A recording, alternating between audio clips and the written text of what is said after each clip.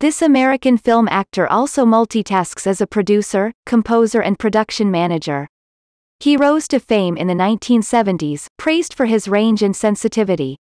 His blonde rugged looks helped viewers connect even more easily to his powerful performances. Born John Youngs in Old Bethpage, New York, Savage attended the American Academy of Performing Arts. The Long Island Boy debuted on Broadway in the chorus of Fiddler on the Roof. He ended up playing one of the sons, after another actor fell sick. During this production, managers Stuart Cohen and Rudy Altobelli discovered Savage.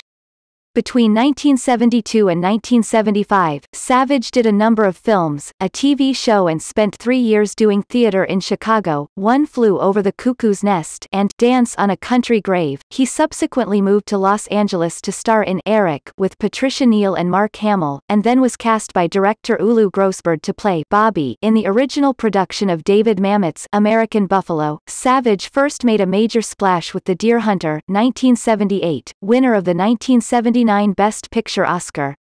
The film's impact on Hollywood and America remains enormous. Director Michael Cimino cast him as Stephen, who returns from Vietnam missing his legs. The following year, this actor enjoyed leads in two more big pictures, the film adaptation of Joseph Wambaugh's The Onion Field 1979 and Milos Forman's musical Hair 1979. Savage played the corn-fed recruit, Claude Hooper Bukowski, who turns on, tunes in and drops out. Critics and film historians celebrated his performance, both then and now.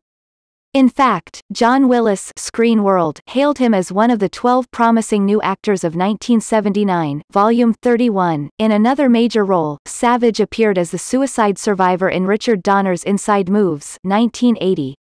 Sensitive and moving, this feel-good film delivers a powerful message about overcoming adversity.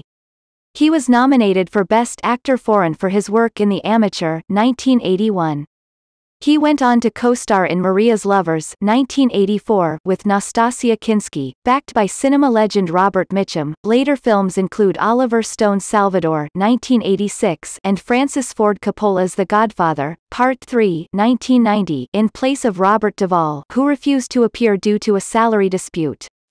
During the late 80s, Savage threw his star power behind the anti-apartheid struggle in South Africa, he continues to work despite his activism, including guest appearances in The X-Files 1993, Star Trek, Voyager 1995, Dark Angel 2000 and various Law and Amp, Order episodes. He first collaborated with director Spike Lee as the bike-riding gentrifier in Do the Right Thing 1989, and then shifted to the camera's other side for Malcolm X 1992 and Summer of Sam 1999. He also had a brief, but powerful, role in Terrence Malick's war epic, The Thin Red Line 1998, married twice, first to artist Susan Youngs and later to South African TV star Sandy Schultz. Savage is the father of ceramic artist Lachlan Youngs and actress, singer, songwriter Jennifer Youngs.